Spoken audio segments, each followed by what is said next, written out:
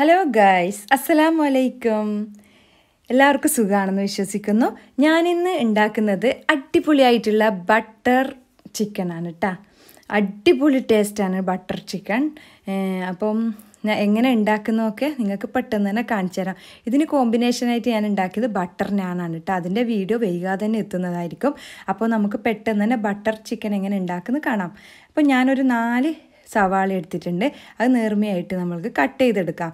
പിന്നെ മൂന്ന് തക്കാളി രണ്ട് പച്ചമുളക്. ഇതൊക്കെ നമുക്ക് കട്ട് ചെയ്തിട്ടെടുക്കാം. ഓക്കെ നെക്സ്റ്റ് നമ്മൾക്ക് ജിഞ്ചർ ഗാർലിക് പേസ്റ്റ് ആണ് കേട്ടോ ആക്കേണ്ടത്. അപ്പോൾ ഗാർലിക്ക് ഞാൻ കൂടുതൽ എമൗണ്ട് എടുത്തിട്ടുണ്ട്. ജിഞ്ചർ ഒരു ഒരു കഷ്ണം മാത്രമേ എടുത്തിട്ടുള്ളൂ കേട്ടോ ഒരു ഇരുപത് ഇരുപത്തഞ്ചെണ്ണം ഞാൻ ഗാർലിക്ക് എടുത്തിട്ടുണ്ട്. പിന്നെ ഒരു കിലോ ചിക്കനാണ് എടുത്തിരിക്കുന്നത്. നിങ്ങൾക്ക് വേണമെങ്കിൽ അതിൽ ബ്രസ്റ്റ് ചിക്കൻ ബ്രസ്റ്റ് നിങ്ങൾക്ക് ഉപയോഗിക്കാം. പിന്നെ ഉപ്പൊക്കെ ഇട്ട് അതിലേക്ക് നേരത്തെ അരച്ച് വെച്ചിരിക്കുന്ന ജിഞ്ചർ ഗാർലിക്ക് പേസ്റ്റിൽ നിന്ന് ഒരു ടേബിൾ സ്പൂൺ എടുത്തിട്ട് ഇതിലും കൂടി ഇട്ട് കൊടുക്കാം. ഒരു സ്മെല്ല് ചിക്കനും കൂടി കിട്ടിക്കോട്ടെ. അപ്പോൾ രണ്ടേ കാൽ ടേബിൾ സ്പൂൺ മുളകിന്റെ പൊടി ഇട്ടിട്ട് നല്ല പോലെ നമ്മൾക്കിതൊന്ന് മിക്സ് ആക്കിയിട്ട് വെക്കാം. ഓക്കെ ഇത് മുളകും ഇതൊക്കെ ഉപ്പും ജിഞ്ചർ ഗാർലിക് പേസ്റ്റും ഒക്കെ ചിക്കനിലേക്ക് അങ്ങ് ആഴ്ന്നിറങ്ങട്ടെ. അപ്പം ഒരു പത്ത് മിനിറ്റ് വെക്കാം. അത് കഴിഞ്ഞിട്ട് നമ്മൾക്കൊരു ഫ്രൈ പാൻ വെക്കാം. അതിലേക്ക് ഞാൻ ഒഴിച്ചു കൊടുക്കുന്നത് സൺഫ്ലവർ ഓയിലാണ് കേട്ടോ പിന്നെ എന്നിട്ട് നമ്മൾക്ക് ഒരു എത്ര ഓയിൽ ഒഴിക്കണം? നമുക്ക് ചിക്കൻ പൊരിക്കാൻ പാകത്തിലുള്ള ഓയിൽ ഒഴിച്ചു കൊടുത്താൽ മതി. അപ്പോൾ എന്നിട്ട് നല്ലപോലെ നമ്മൾക്കൊന്ന് പൊരിച്ചെടുക്കാം. അപ്പോൾ നമ്മൾ ചിക്കൻ ഈ അടുപ്പിലൊന്ന് പൊരിഞ്ഞെടുക്കട്ടെ. അപ്പോൾ നമുക്ക് നെക്സ്റ്റ് അടുപ്പിൽ നമ്മൾക്കൊരു അടികട്ടിയുള്ളൊരു പാത്രം വെക്കാം. അപ്പോൾ രണ്ട് ജോലിയും പെട്ടെന്ന് കഴിയുമല്ലോ. അപ്പോൾ ഇതിലേക്ക് ഞാനൊരു ഏകദേശം ഒരു നാലഞ്ച് ടേബിൾ സ്പൂണ് ബട്ടർ ഇട്ട് കൊടുത്തിട്ടാ. എന്നിട്ട് ഫ്ലെയിം നല്ലോണം ലോ ഫ്ലെയിമിൽ വേണം വെക്കാൻ അധികം ഫ്ലെയിം കൂട്ടിക്കഴിഞ്ഞാൽ നമ്മളെ ബട്ടർ കരിഞ്ഞു പോയി അതിന്റെ ടേസ്റ്റൊക്കെ നഷ്ടപ്പെടും. അപ്പോൾ കരിഞ്ഞു പോവാതെ നമ്മൾ സൂക്ഷിക്കണം ഓക്കെ? അപ്പോൾ എന്നിട്ട് നമ്മൾ കട്ട് ചെയ്ത് വെച്ചിട്ടുള്ള സവാള ഇട്ട് കൊടുക്കാം. അപ്പോൾ സവാള ഇട്ട് കൊടുത്തു കഴിഞ്ഞാൽ പിന്നെ കുറച്ച് ഉപ്പിട്ട് കഴിഞ്ഞാൽ നമ്മളെ ജോലി ഭാരം കുറച്ച് കുറഞ്ഞ് കിട്ടും. കാരണം എന്താ? സവാള പെട്ടെന്ന് വഴന്ന് കിട്ടും ഉപ്പിട്ട് കഴിഞ്ഞാൽ പിന്നെ എന്നിട്ട് അതൊന്ന് വഴന്ന് കഴിഞ്ഞാൽ നമ്മൾക്ക് ജിഞ്ചർ ഗാർലിക് പേസ്റ്റും പച്ചമുളകും കൂടി ഇതിലേക്ക് ആഡ് ചെയ്യാം. എന്നിട്ട് നല്ലപോലെ ഒന്നുകൂടി നമ്മൾക്ക് യോജിപ്പിച്ചെടുക്കാം. ഇതൊക്കെ നമുക്ക് ജ്യൂസിലിട്ട് അടിക്കേണ്ടതാണ് കേട്ടോ ജ്യൂസിൽ ബ്ലെൻഡ് ചെയ്തെടുക്കാൻ വേണ്ടിയിട്ടുള്ളതാണ്. കൂടുതൽ കരിയാനൊന്നും നിൽക്കണ്ട. ഓക്കെ? അപ്പം ഇതും കൂടിയിട്ട് നല്ലപോലെ മിക്സ് ആക്കിയതിന് ശേഷം പിന്നെ ഓ നമ്മുടെ ചിക്കൻ നോക്കി നോക്കട്ടെ ചിക്കൻ എന്തായി എന്നറിയില്ലല്ലോ ആ ചിക്കൻ നമ്മൾക്ക് ഇതൊന്ന് മറിച്ചിട്ട് കൊടുക്കാം. ഒരു ഭാഗം റെഡി ആയിട്ടുണ്ട്. അപ്പോൾ ഇതാ ഒരു ഭാഗം ചിക്കന്റെ ഒരു ഭാഗം റെഡി ആയിട്ടുണ്ട്.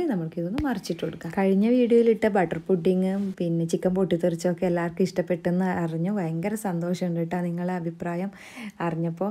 അപ്പോൾ വീണ്ടും ഫീഡ്ബാക്ക് അറിയിക്കണേ.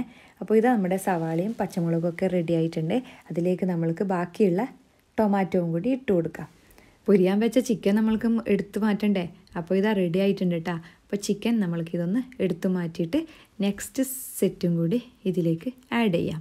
ഓക്കെ ആവശ്യമുണ്ടെങ്കിൽ ഓയിൽ ഒഴിച്ചു കൊടുത്താൽ മതി. പിന്നെ അതും കൂടി ഇട്ടിട്ട് നമുക്ക് പൊരിച്ചെടുക്കാം.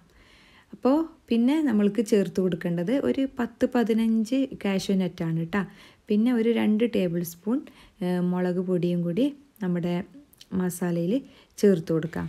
രണ്ട് മിനിറ്റ് നമുക്കൊന്ന് വഴറ്റിയെടുക്കാം. കാരണം പിന്നെ മുളക് പൊടി ഇട്ടതുകൊണ്ട് അതിന്റെ ഒരു പച്ച ചുവ ഉണ്ടാവില്ലേ അതൊന്ന് മാറിക്കഴിഞ്ഞതിന് ശേഷം നമ്മൾക്ക് ഒന്ന് ആറിക്കഴിഞ്ഞതിന് ശേഷവും നമ്മൾക്ക് ജ്യൂസിലിട്ടിട്ട് ബ്ലെൻഡ് ചെയ്തെടുക്കാം. അപ്പോൾ നമ്മൾക്ക് ജ്യൂസിൽ വെള്ളമൊന്നും ഒഴിക്കാതെ ഒന്നും ബ്ലെൻഡ് ചെയ്യേണ്ട ആവശ്യമില്ല. നമ്മൾക്കിത് ആവശ്യത്തിനനുസരിച്ചിട്ട് ബ്ലെൻ വെള്ളം ഒഴിച്ചിട്ട് ബ്ലെൻഡ് ചെയ്താൽ മതി കേട്ടോ. കാരണം നല്ല തിക്കായിട്ടുള്ള ബാറ്റർ ആയിരിക്കും. കാരണം നമ്മൾ ഓൾറെഡി ഇതിൽ അണ്ടിപ്പരിപ്പൊക്കെ ഇട്ടതാണ്. കാഷ്യൂനട്ട് ഇട്ടതുകൊണ്ട് നല്ല തിക്ക് ബാറ്റർ ആയിരിക്കും കിട്ടാൻ വേണ്ടി പോകുന്നത്.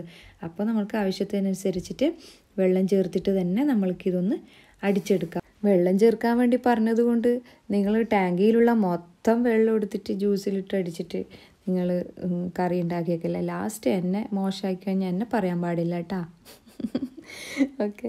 അപ്പോൾ ഇതാ നമ്മളിതാ ബ്ലെൻഡ് ചെയ്ത് എടുത്തിട്ടുണ്ട് കേട്ടോ അപ്പോൾ നേരെ നമ്മൾക്ക് അതിൽ ഓയിലൊന്നും ഒഴിക്കേണ്ട ആവശ്യമില്ല. നേരെ നമ്മുടെ ചൂടുകട്ടിയുള്ള പാത്രത്തിലേക്ക് ഒഴിച്ചു കൊടുക്കാം. എന്നിട്ട് ഇതിലും നമ്മൾക്ക് വെള്ളം ഒഴിച്ചിട്ട് ആവശ്യത്തിനനുസരിച്ചിട്ട് വെള്ളം ഒഴിച്ചിട്ട് നമ്മൾക്കിതൊന്ന് മിക്സ് ആക്കിയിട്ടെടുക്കാം. അപ്പോൾ നമ്മൾക്ക് മനസ്സിലാവും ആ ഇത് തിക്ക് ബാറ്ററാണ് തിക്ക് ബാറ്ററാണെന്ന് മനസ്സിലായി കഴിഞ്ഞാൽ നമ്മൾക്ക് വെള്ളം ഒഴിക്കൽ നിർത്താം. ഇപ്പോൾ നമ്മൾ നോക്കിയിട്ട് വെള്ളം ഒഴിച്ചാൽ മതി കേട്ടോ അതുകൂടാതെ നമ്മളിതിൽ ക്രീമും കൂടി ആഡ് ചെയ്യുന്നുണ്ട്. അപ്പോൾ കൂടുതൽ തിക്കായിട്ട് വരും. ഇത് കൂടുതൽ ചൂടായിക്കൊണ്ടിരിക്കുമ്പോൾ ഇത് തിക്കായിക്കൊണ്ട് വരും. പിന്നെ ചൂട് കട്ടിയുള്ള ഇതുപോലുള്ള ഫ്രൈ പാൻ എടുക്കാൻ പറയുന്നത് നമ്മൾ അടിക്ക് പിടിക്കാതിരിക്കാനാണ് കേട്ടോ. സ്റ്റീലിന്റെ പാത്രമൊക്കെ ആണെങ്കിൽ പെട്ടെന്ന് അടിയിലൊക്കെ പിടിച്ചിട്ട് പിന്നെ അതിന്റെ സ്മെല്ലൊക്കെ വരൂലേ? അതുകൊണ്ടാണ് കേട്ടോ. ഇങ്ങനത്തെ ഒരു പാത്രമാണെങ്കിൽ നമ്മളെ പണിയും ജോലിയും ഒക്കെ നമുക്ക് കുറഞ്ഞ് കിട്ടും. അധികം ഫുൾ ടൈം നമ്മൾക്ക് ഇങ്ങനെ ഇളക്കിക്കൊണ്ടിരിക്കേണ്ട ആവശ്യമില്ല ഇങ്ങനത്തെ ഒരു പാത്രമാണെങ്കിൽ. അലുമിനിയം പാത്രമാണെങ്കിലും ഇങ്ങനെ തന്നെ. നമ്മൾക്ക് കുറച്ച് ശ്രദ്ധ കൂടുതൽ നമ്മൾ നമ്മൾ ഇട്ട് കൊടുത്ത നമ്മൾ ഉണ്ടാക്കുമ്പോൾ കൂടുതൽ ശ്രദ്ധ നമ്മുടെ പാത്രത്തിലേക്ക് കേന്ദ്രീകരിക്കണം. അപ്പോൾ ഇത് ആവശ്യത്തിനുള്ള ഉപ്പ് ഞാൻ ഇട്ട് കൊടുത്തിട്ടുണ്ടേ. ആവശ്യത്തിനുള്ള ഉപ്പും കൂടി ഇട്ടിട്ട് നല്ലപോലെ നമ്മൾക്ക് മിക്സ് ആക്കി എടുക്കാം. അപ്പോൾ ഒരു തിള വരുന്ന സമയത്ത് നിങ്ങൾക്ക് മനസ്സിലാവും ഇത് ഭയങ്കര തിക്കാണെന്ന് തിക്കാണെന്ന് തോന്നിക്കഴിഞ്ഞാൽ മാത്രം നിങ്ങൾക്ക് വീണ്ടും വെള്ളം ചേർക്കാം. അപ്പോൾ ഇതാ നമ്മൾ ഇത് റെഡി ആയിട്ടുണ്ട് നമുക്ക് ഇതിലേക്ക് ചിക്കൻ ഇട്ട് കൊടുക്കാം. അപ്പോൾ ഓരോ പീസായിട്ട് വേണം ഇട്ട് കൊടുക്കാനേ. അപ്പോൾ ഇതൊക്കെ ഇട്ടിട്ട് വീണ്ടും നമുക്ക് നല്ലപോലെ മിക്സ് ആക്കിയെടുക്കാം നെക്സ്റ്റ് നമ്മൾ ചേർത്ത് കൊടുക്കുന്നത് കസൂരി മേത്തിയാണ്. അതൊരു ടേബിൾ സ്പൂൺ എടുത്തിട്ട് കൈ കൊണ്ടൊന്ന് ഞരടിയിട്ട് വേണം ഇട്ട് കൊടുക്കാനേ.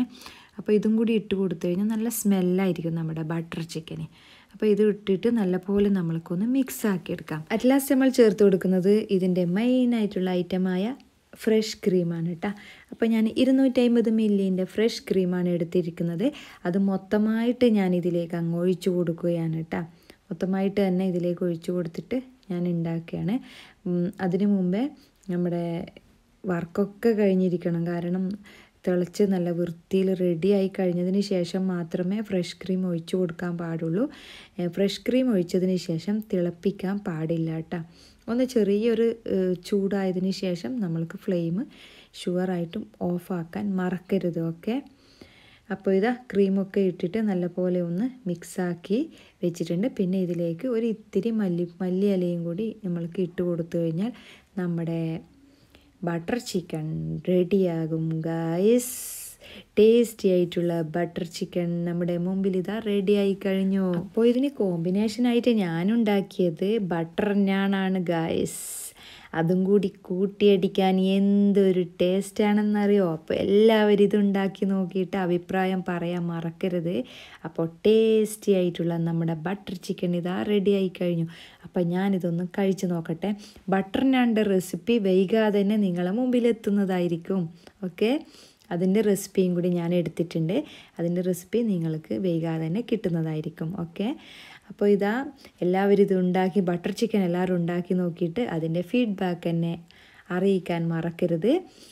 അപ്പോൾ വീണ്ടും നല്ലൊരു വീഡിയോയുമായി കാണുന്നത് വരെ നിങ്ങളുടെ സ്വന്തം Saru's kitchen thank you for watching bye bye